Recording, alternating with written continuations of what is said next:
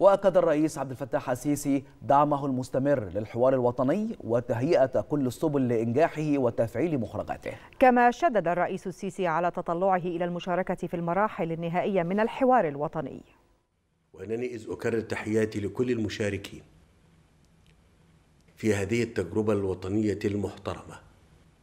فإنني أدعوكم إلى بذل الجهود لإنجاحها واقتحام المشكلات والقضايا وتحليلها وإيجاد الحلول والبدائل لها. متمنيا من الله عز وجل أن يكلل جهودنا جميعا بالنجاح والتوفيق. مؤكدا دعمي المستمر لهذا الحوار وتهيئة كل السبل لإنجاحه وتفعيل مخرجاته في إطار من الديمقراطية والممارسة السياسية الفاعلة. وأتطلع بنفسي إلى المشاركة في مراحله النهائية.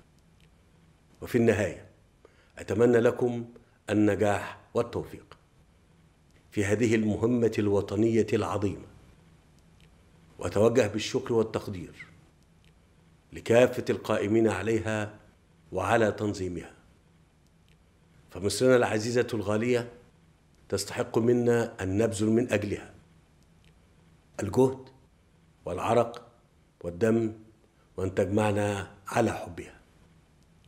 فهي الغاية وهي الوسيلة دائما.